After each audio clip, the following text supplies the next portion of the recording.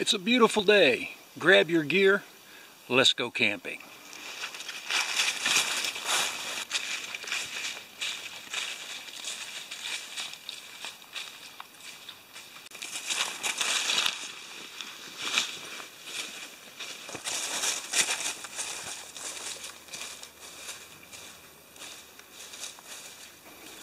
Well, I found a nice place to set up camp right between these two trees. I pace off the distance to see if it'll work for me. For me, it's about seven normal steps. And these are just right. So this is a nice spot. Kind of up high.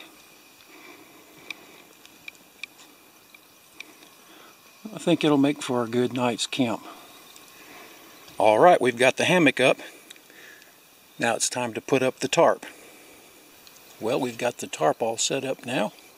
So now it's time to find some firewood. Firewood's not too hard to find. It's everywhere.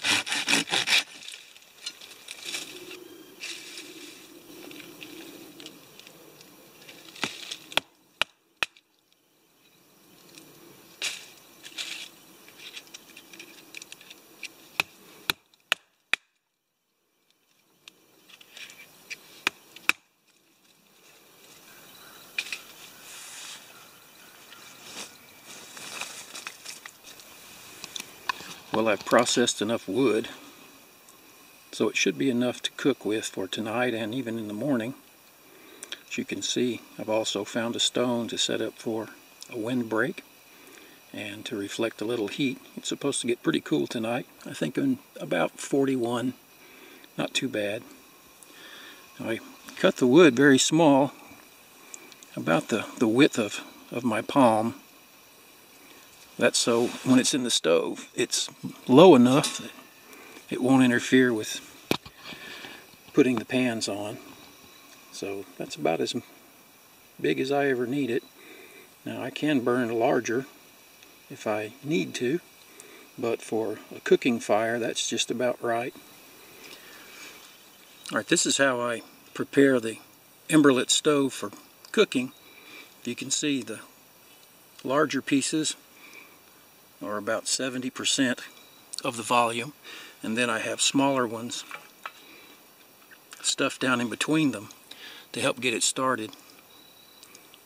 I've had several people ask me how, I, how I'm doing it so I thought I would go into a little bit more detail.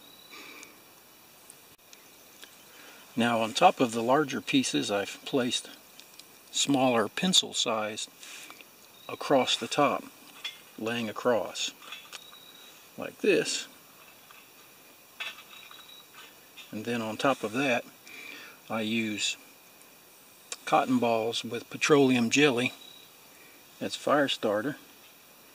It's very easy and catches very easily. Now I've made friction fire with a bow drill and can do that. It's nice to know how, but I wouldn't want to rely upon it. Why not make it easy on yourself? I'm not out here doing survival, I'm camping. So that works very easy.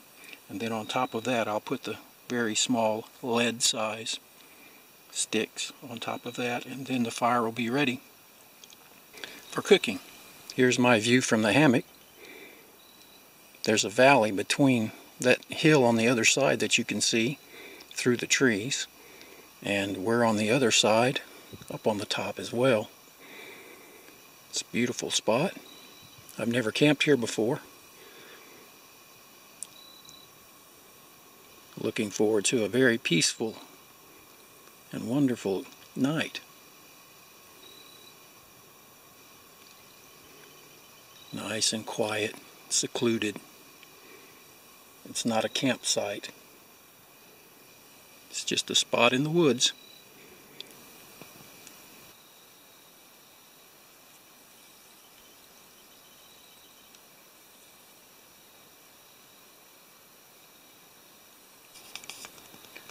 Let me tell you about the kit I use for baking. It's this very inexpensive aluminum mess kit from Texsport. You can see the pieces like this. There's a picture of them as they come. Now I take the lid and, and take the little handle off. You've got to take that off. I discard the handle for the frying pan. The frying pan becomes the lid to my bake set. And I use this pan. And then this is the bottom pan. It's very inexpensive. It costs about $10. It's very light, very lightweight, and it works well.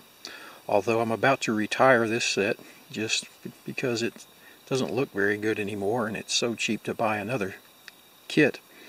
So this may be the last outing for this particular set, but I have another one coming. I wanted to show you this in case you wanted to know and get exactly the one I'm using. Alright, tonight we're going to make a cornbread, pepperoni cornbread.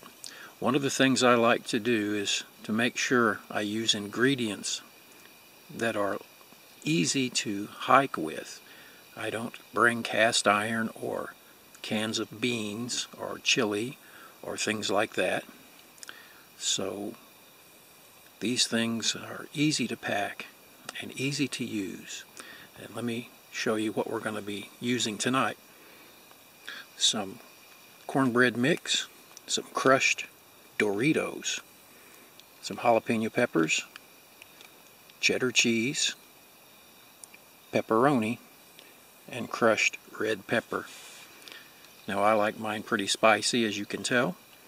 Of course you can adjust the ingredients to your taste. Let's get to it. Okay, first thing we want to cut up the cheese. Some wonderful and de delicious cheddar cheese.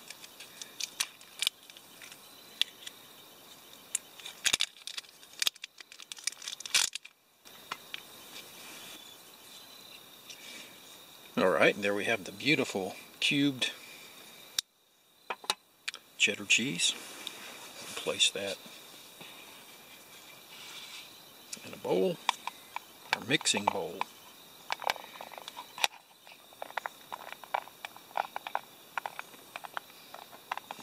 Try not to drop any. One got out. Next we add the cornbread mix itself.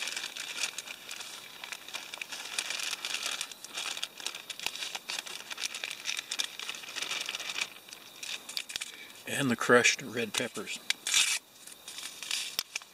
Not all of them, just a little dash of them.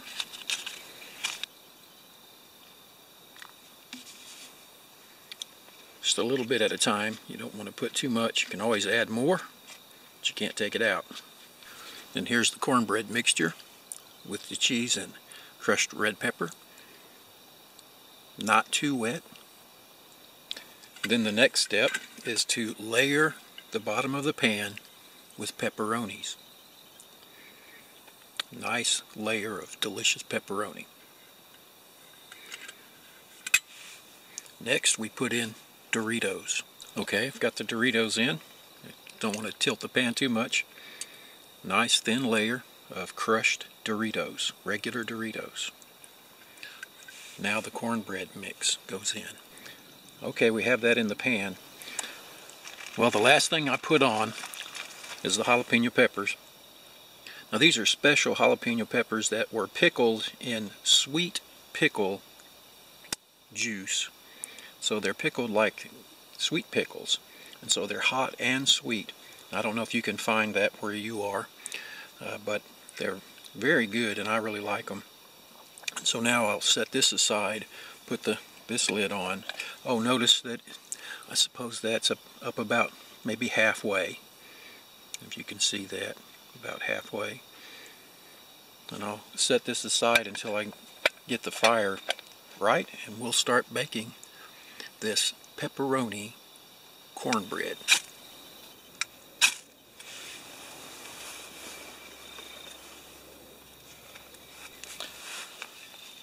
Well, while that's getting going, I went, walked away from camp and cleaned the mixing bowl And so now it's ready for breakfast in the morning.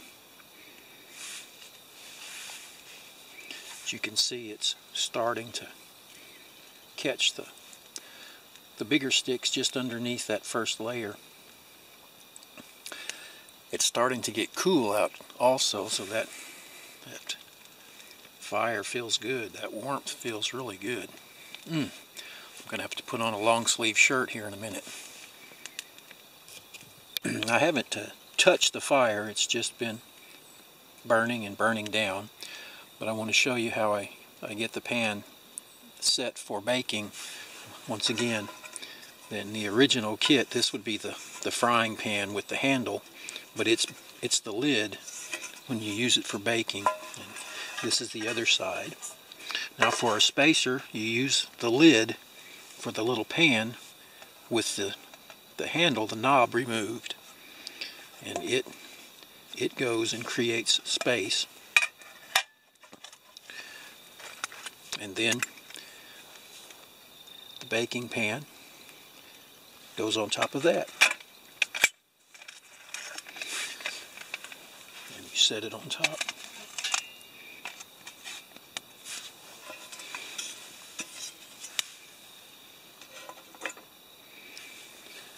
We wait.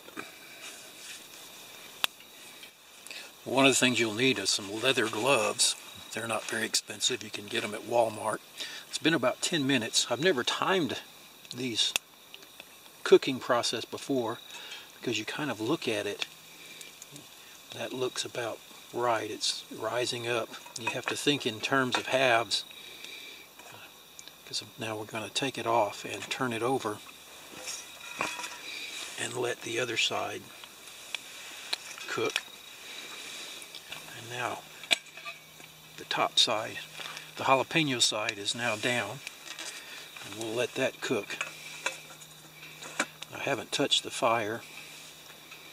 It's just going.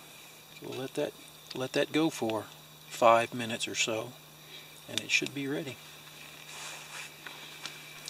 Well here's the finished product. It's starting to get dark a little bit so I hope you can see it. It came out a little more crumbly than I thought it would but that's just the way these things go sometimes. I'd hope to slice it but the pepperoni is very good. I'll try to slice it, but I'm afraid it's going to break apart.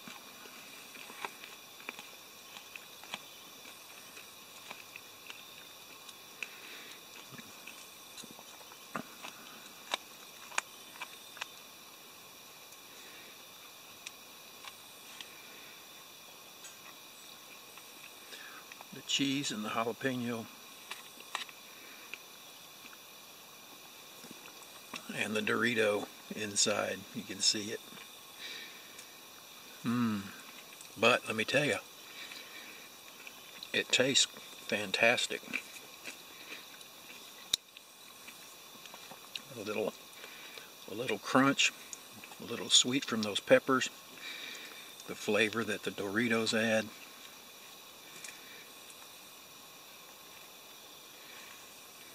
In fact, I need to put it back in the bowl and in the pan and eat it out of the pan. Look at that.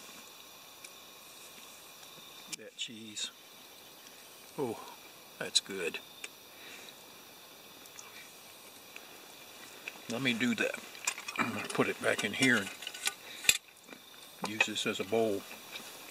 Alright.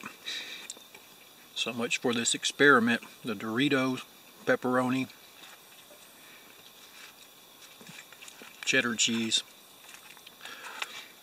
cornbread.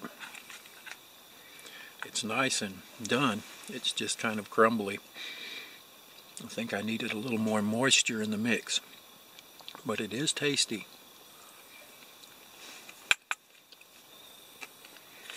Well, it's getting cold. I had to put my long sleeve on.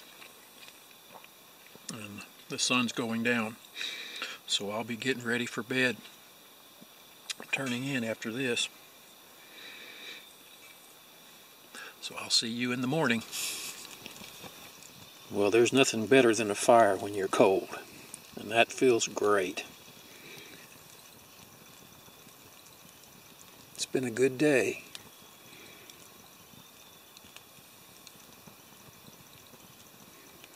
Good night. And good morning, everyone. What a wonderful night. Okay. Now you may have noticed from last night that I had some wood stacked behind the stove and that's the wood I plan to use this morning to make breakfast so it's ready and dry and then I still have plenty of other wood that I had prepared if I need it.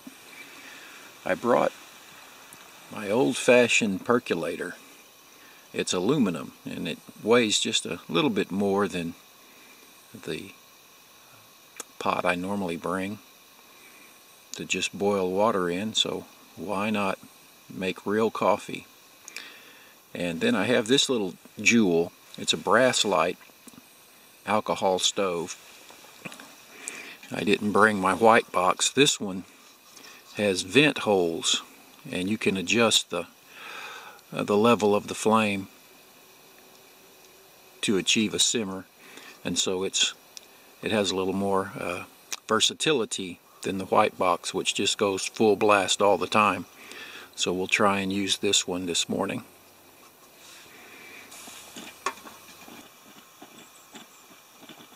I don't know if the camera could pick that up but the sound of coffee perking and the smells wonderful One of the most difficult things with these small percolators is to get a slow perk. They tend to boil over if they get too hot and that's the problem with using an alcohol stove. But with this little Brasslight with its adjustable flame level you can turn it down and get a nice slow perk which is perfect for making coffee.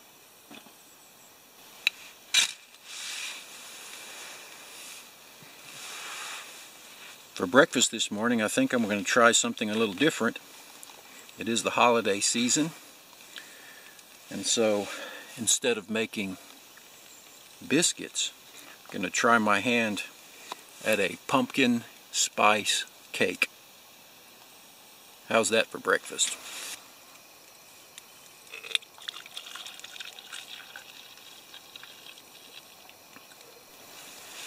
Okay, that fire is just about ready. Let me show you what the cake looks like before we put it on.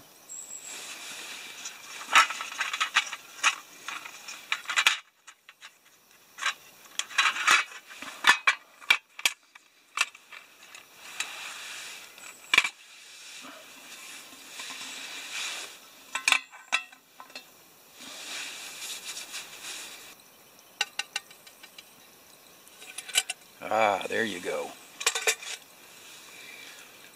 That is a pumpkin spice. There's no pumpkin in it, but pumpkin spice coffee cake with pecans on top. Turned out pretty good, it looks like. Let's see, let's cut this.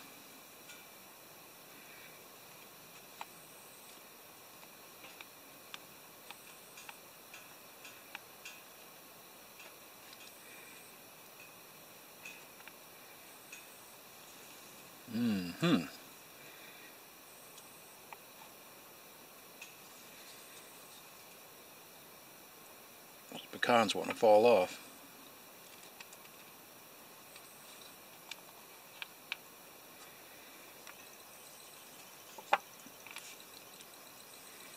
There we go. Pumpkin spice coffee cake for breakfast. Fantastic.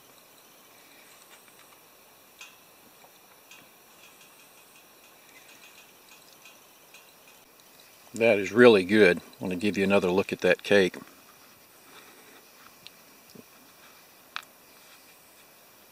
Excellent. Mmm. Great breakfast. Give it a try. What a beautiful morning. Just doesn't get any better than this. Mmm. Well, down to the last slice. If you were here, I'd be glad to share it with you. Well, the fire's just about gone. A couple of coals left. And it's just about time to pack up and head back. Thanks for coming along with me. Take care. I'll see you next time.